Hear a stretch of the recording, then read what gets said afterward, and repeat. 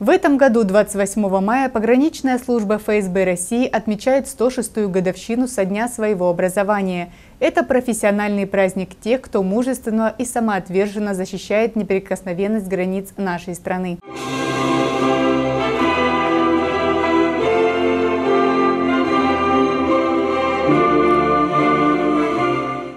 Пограничных войск установлен указом президента от 23 мая 1994 года в целях возрождения исторических традиций России и ее пограничных войск. В микрорайоне Кубрис, где установлен памятник пограничникам, сегодня состоялся торжественный митинг. Здравствуйте, товарищи пограничники! Поздравляю вас со 106-й годовщиной со дня образования! Пограничной охраны ГПУ, пограничных войск НКВД, пограничных войск КГБ СССР, пограничной службы ФСБ России. Ура!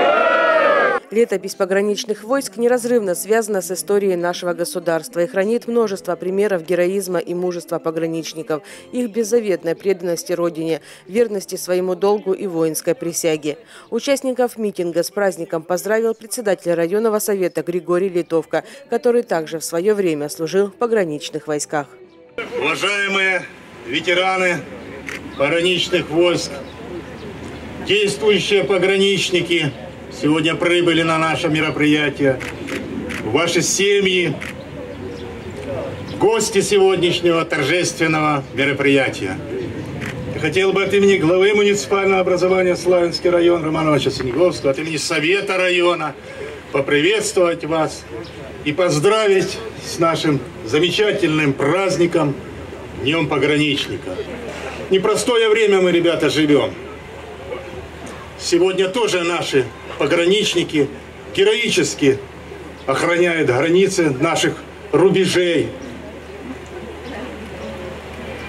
И я уверен, что сегодняшние доблестные пограничники все сделают для того, чтобы наша граница была священна и неприкосновенна.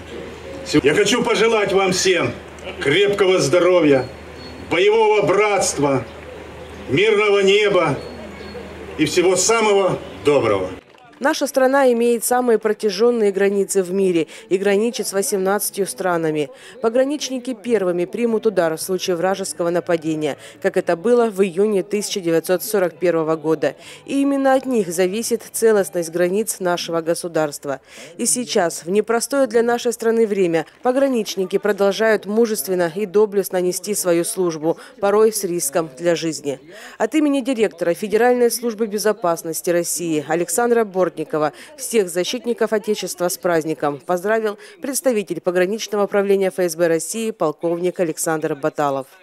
Я хочу выразить огромные слова благодарности представителям ветеранской организации, представителям местного муниципалитета за тот вклад, несоизмеримый вклад, который вносят они прежде всего в воспитание подрастающего поколения и в целом в дело охраны государственной границы.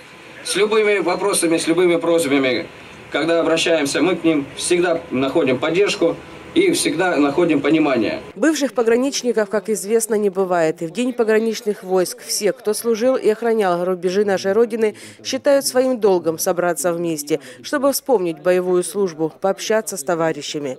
Председатель общественной организации «Пограничное братство» Олег Давков также поздравил своих боевых товарищей с праздником и вручил ветеранам памятные медали и почетные грамоты за активное участие в работе организации и военно-патриотическом воспитании подрастающего поколения поколения.